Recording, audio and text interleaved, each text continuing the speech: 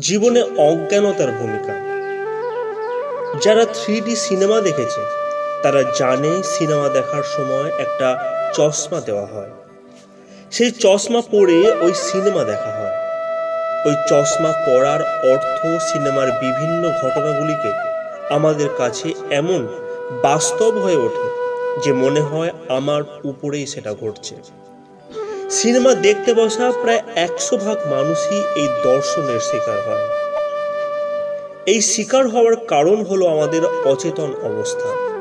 অর্থাৎ আমরা থ্রি দেখছি, সেটা ভুলে যাই। একইভাবে আমরা যখন এই পৃথিবীতে আসি, এই পৃথিবীতে আসা হলো জীবনের কতকগুলি ঘটনাকে নিয়ে জীবন অতিবাহিত করা ও তাকে বাস্তব ভাবা। এক্ষেত্রে এই জগতের ঘটনাগুলি হলো থ্রি সিনেমা। আর আমাদের চশমা হলো মায়া মোহ, যার মাধ্যমে আমরা জগতের সাথে সম্বন্ধগুলিকে বুঝে থাকি।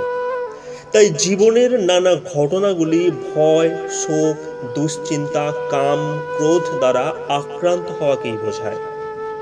আমরা যখন ঘুমিয়ে স্বপ্ন দেখি, তখন ওই অবস্থাকে আমরা সত্যিই মনে করি। কিন্তু যখন ঘুম থেকে জেগে উঠি, তখন বুঝতে পারি মিথ্যা স্বপ্ন দেখছিলাম। একইভাবে আমাদের ঘটনাগুলি মায়ামোহের আপনজনদের নিয়ে হয়।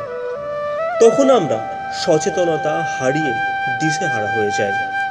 অথচ বন্ধুদের সাথে সেই একই ঘটনা ঘটলে আমরা নিরপেক্ষভাবে তাদের সান্ত্বনা দিই। অথচ নিজের ক্ষেত্রে শান্ত থাকতে পারি না। এর নামই অজ্ঞানতা। তাই আমাদের অজ্ঞানতার সাথে পরিচয় হতে হবে এবং তাকে জেনে তাকে ব্যবহার করতে হবে।